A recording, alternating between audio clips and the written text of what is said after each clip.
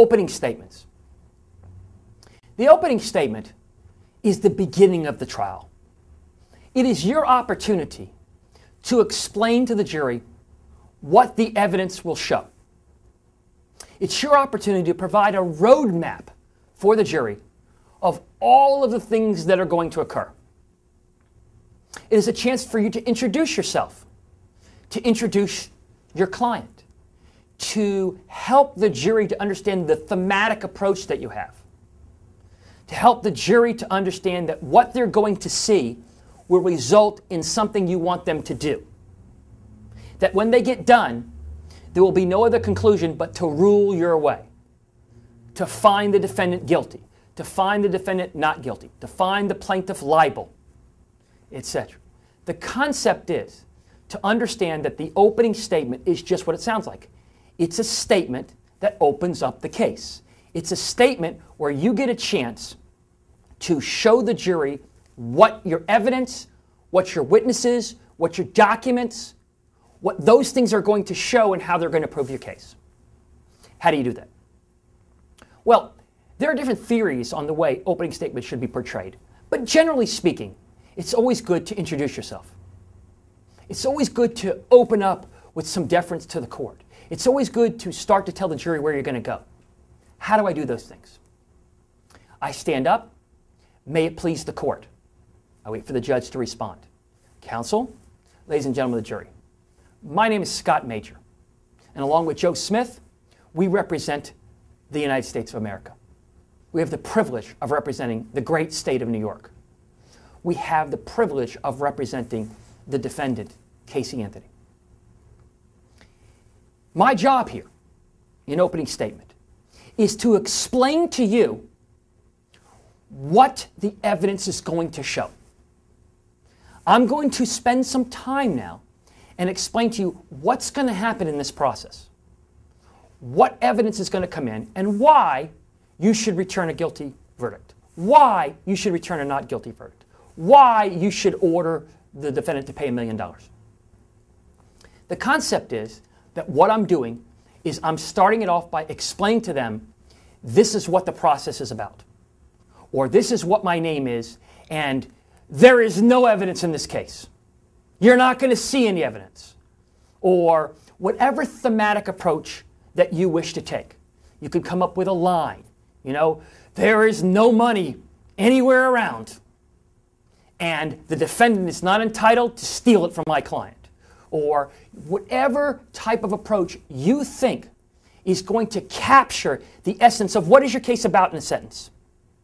This is a case about a bloodthirsty woman who wouldn't stop at anything, even murder, in order to get a life insurance policy. This is a story about a man who is wrongly convicted, who is an innocent man who was in the wrong place at the wrong time. You know, whatever your approach is, you may want to say that at the beginning. You may want to say that after you introduce your name. The most important thing is to understand that whenever that's presented, it's presented early on because you're establishing, okay, here's who I am, here's what my case is about. Or, let me take you through the procedure. What you're going to hear from is first me. I'm going to explain to you why I think the evidence is going to show that Casey Anthony's guilty. I represent the great state of Florida. It's my duty to prove that to you. Now, the defendant then gets to get up and give their opening statement. Now, if they wish, they can defer and wait till later. But let's assume they give their opening statement. They will then tell you why Casey Anthony should be found not guilty. Once that's completed, then I will begin calling witnesses. I will begin presenting evidence that is favorable to our case. The defendant will have an opportunity to cross examine those witnesses. I want you to pay close attention to what my witnesses say because they're going to show you a lot of critical things. For example, you're going to hear that Miss Anthony did not report that her child was lost ever. Ever. 31 days after the child was gone, the mother made a report. I'm not making this up. This is what the evidence will show. The evidence will show that for those 30 days, that she went out 27 of those nights partying with apparently reckless abandon to the safety and welfare of her supposed taken child. You're going to hear evidence that she accused a nanny of kidnapping and murdering the child. And you're not going to hear anything about that nanny because there's no such thing. You're not going to hear that nanny come into court. You're not going to see any documents to support that claim. So, you see what I'm doing? What I'm trying to do is establish some things I'm going to show. Opening statement is not like a closing argument. While there are some components where you can argue, it is supposed to be mostly about what you're going to show them, what the evidence is going to display. So while you can use emotion, you should temper that with the evidence is going to show this, and the evidence is going to show that, and you're going to hear from this witness. So I do think you should be emotional, but understand it's not the closing argument. It's your chance to explain in your own way what you think that evidence is going to show, is to tell the jury that you're not presenting it, you're merely facilitating that process. So you, in the opening statement, say the evidence is going to show you because you're trying to tell the jury that it's the evidence, it's the witnesses, not me. That I'm the lawyer and my job is to represent this client. But my job is not to testify. My job is to present the evidence in a way that I best know how that will help you to understand our position. In opening statement, I have to recognize what is it that I want? I want a not guilty verdict. I want to pay money. I want to not have to pay money. I want somebody else to pay money. Whatever I'm asking for, I need to make sure that along that process, I ask for that. Understand, ladies and gentlemen, that what we're going to ask you for is a conviction. We're going to ask you to check that box that says Casey Anthony is guilty of first degree murder, that she intentionally and willfully and with premeditation killed Caylee Anthony. I'm asking for something. I'm telling him. And let me show you why the evidence is going to show that. Then I tell my story. Then I explain to them. Witness number one is going to say this. The police officer is going to say that. You're going to hear from so and so. You're going to hear from the mother. She's going to tell you this. You're going to hear from the brother. You're going to hear from witness after witness who's going to tell you. And you start to help that jury to understand what is your story. Remembering at all times what's your message. What are you trying to convey? Do you want to convey the person as a sympathetic person? Do you want to convey them as ruthless? Do you want to convey it in an aseptic way that whether you look at it any way you look at it, doesn't matter how you look at it. It's going to turn out the same way, guilty. Do you want to convey it with emotion, with anger, with frustration?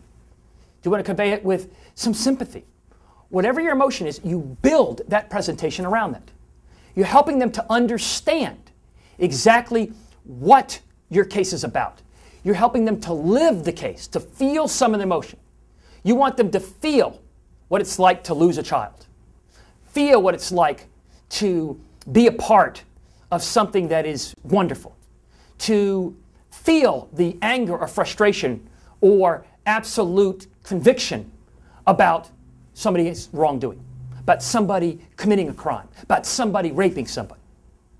Whatever you're trying to accomplish, the key in opening is to build your opening statement, to build this evidence around that thematic approach, around the fact that the person is bad, around the fact that this evidence is going to demonstrate this. And you do that by telling the jury what each witness is going to say, by showing them evidence. You're going to hear evidence. You're going to see the gory pictures. You're going to hear from so and so. And this enables the jury to understand that roadmap. During the trial, you might have people stand up and object. Understand that these are legal things, that you're not to be concerned about that, that maybe a witness won't be permitted to speak something or will. Please don't judge me or judge the opposing counsel for those objections. Those are legal things that the judge must sift out, that the judge must decide. And the judge is going to explain that to you. But it's important that you understand that because I don't want you judging anybody based on how many objections are made or whether an objection is granted or not granted. During the trial, we might take breaks. Understand that doesn't mean my case is over. Understand that those breaks are not to be held against me or my client just because they break before a witness finishes their testimony. The most important thing to understand when you're telling the jury this is to recognize that I am guiding the jury. I am constantly providing information. I am showing them what is my message. The message was there's only one witness who saw the light turn red. Ladies and gentlemen, you're going to hear from witnesses. You're not going to hear from a single witness except Mr. Jones that they actually saw the car entering the intersection. Please keep that in mind. Please remember that you must rule on the evidence. And there are not six witnesses that saw this, there is one. And that witness is going to get on stand and tell you that he really didn't have a good view of it and that he wasn't even wearing his glasses. So keep that in mind before you find my client liable. The concept is that what I'm doing is I'm sharing with them what I think the evidence is going to show. And then I'm asking them that once that evidence shows that, I'm going to ask you to rule in my favor. I'm going to ask you to find the person guilty. So that's the purpose of the opening statement.